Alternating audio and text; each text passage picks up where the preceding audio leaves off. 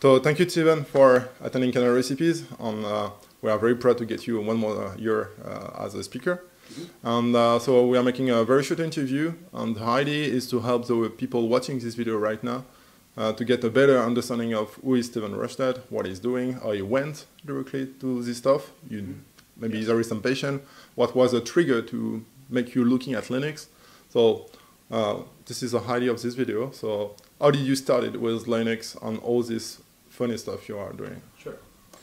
Um, by the way, thank you for having me. Uh, so it's actually started, and I've given this, I've told other people this before uh, in interviews, and I used to work um, at Lockheed Martin, and I worked on uh, Sun Microsystems and AIX and stuff, and I was trying very hard to actually get off of that because I saw it was kind of moving away. This is in the early 90s, and then I saw this, you know, Microsoft was coming up and everyone was doing Microsoft, and I tried very hard to get on a project to do Microsoft. So I finally got on there, and I spent a lot of time uh, developing something, and I was debugging this bug, and I spent three days until I found out that the bug I was debugging was actually the debugger for Microsoft and I was extremely frustrated. I didn't have my bash, like well, not bash, but the shell commands. I didn't have a lot of the Unix properties that I loved with AIX and Sun Microsystems, and I finally got so frustrated. I, I basically yelled, "Can't they make a Unix for the PC?" And this intern sitting next to me turned around and said, "Have you ever heard of Linux?" And this was in 1996, and I I was like, what? And I went through, I searched for it, found it. I downloaded, a, you know, the 13 floppy drive or floppy disks for Slackware. I installed it. Couldn't quite get my graphic card working, and that was common back then. And um, I fell in love with it ever since. So that's how I got started with just playing with Linux. Uh, for the kernel programming side, that came from, uh, I went back to school to get my master's, uh, story for that. Um, and when I went for my master's, one of the classes was uh, rewriting the uh, TCP/IP stack in Linux. At the time, was 2.2 kernel uh, from a send acknowledgement to a credit negative acknowledgement protocol.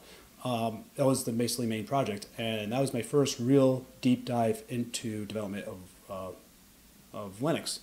And it was also where I found out that the uh, when you deal with networking, because my actually my uh, master's thesis was on quality of service networking. I, I, so I was developing on Linux with that, and uh, to debug it, printk wasn't good enough.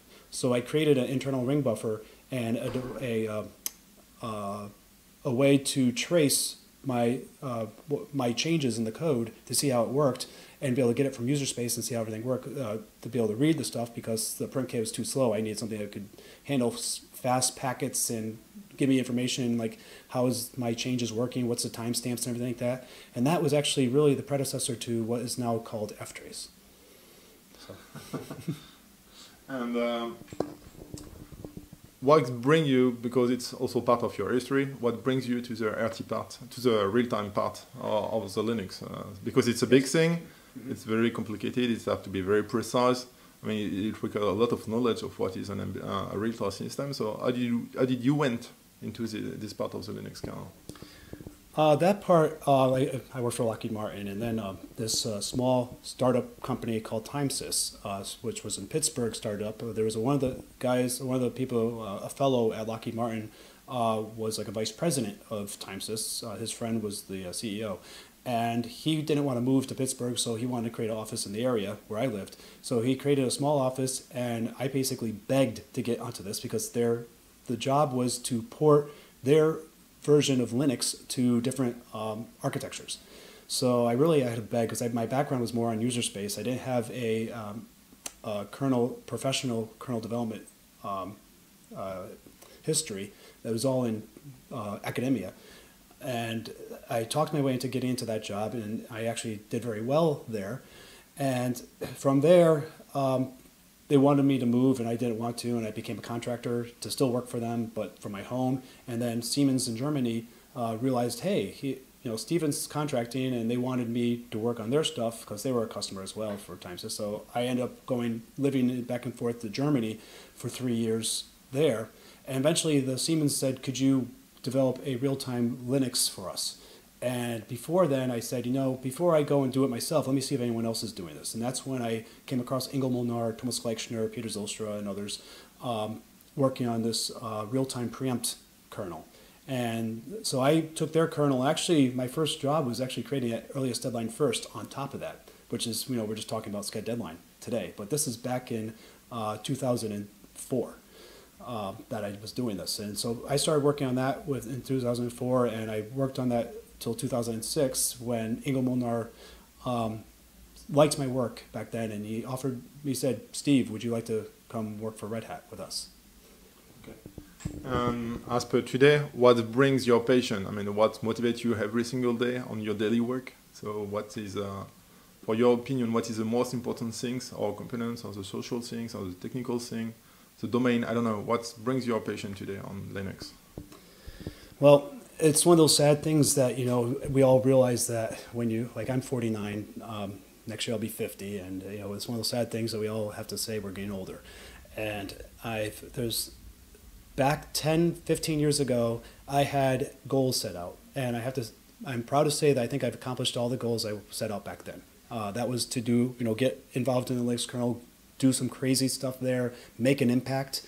Um, I did it. Did all that. I did a lot of technical stuff. I'm uh, proud of my work that I've done, and I've had other work. But now, I feel like I'm at an age where I can't be doing it anymore. I mean, I, I need to start helping others fulfill their dreams. And I actually uh, one of my motivations is uh, to get other to help others working on the kernel to get them more up to speed. I just mentioned today that we have a full-time employee working on KernelShark. Uh, I'm helping him. I'm directing him on that. I'm not doing any of the code. I mean, I just look at his. I'm just review. I don't write code. It's it's going to be his work only. He's in uh, Bulgaria. Uh, Sofia Sofia is where he'll be located, and hopefully he'll st- he'll come out of the uh, you know woodworks and be giving talks maybe sometime later. Uh, so I'm my like I said, what motivates me now is basically to still make an impact. Uh, as people know, I moved from Red Hat recently to VMware, and my impact there is to try to make VMware into a more open source friendly company. And I see a change. Or I've only been there for nine months. I've already seen a change within the cultural atmosphere there, and I think we are making an impact. Um, what would be your advice for the newcomers? Not to be afraid of getting back to maybe more um, experienced people and to get knowledge? Or how can we convince them to come to you or to the others to start their their first job, their first batch, or their first review on the Linux kernel? What would be your advice for them? Well, this is kind of funny. We're actually just talking about this between a few high-level um, maintainers, uh, and we're saying, you know, when was it where you found out that you're now the one that people look up to, kind of? And um, it's I laugh because when I first started uh, Red Hat, I didn't want to go. I was actually intimidated to join Red Hat because everyone that interviewed me, I knew all the developers at the time. They were all high level developers, and I was I didn't want to go. But one of the Red Hat employees that was saying there was like, Steve, why don't you go? And I said, you know, I feel like I'm moving from the little leagues to the big leagues, and that um, I don't know if I could compete with these people. And the response back was, you know, if you didn't feel that way, you wouldn't belong here. He says, Don't worry, in five years, you're going to be one of those people that people are afraid to approach you. And it sort of happened. And I tell people, and this is, we're all laughing, like, we're, all, we're the same as those are coming up. We were there. We were all at that point. I every time every time someone comes up to me, I'm like, "Are you in five years? Are you going to be the big one that everyone talks about? Is are you going to be the one that I'm going to say, I'm proud I know this person?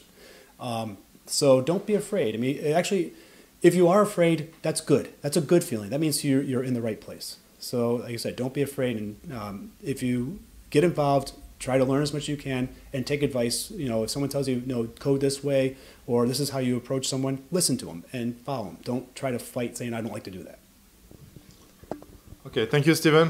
Thank you for accepting this uh, short interview. And thank you uh, one more time for being one of the Kernel Recipe speakers. We are very proud to get you every year uh, to it, and we always enjoy your conference. So thank you very much. Well, thank you. I, I love coming here. So, like I said, this is I tell people this is my favorite conference. Thank you very much. thank you, Steven.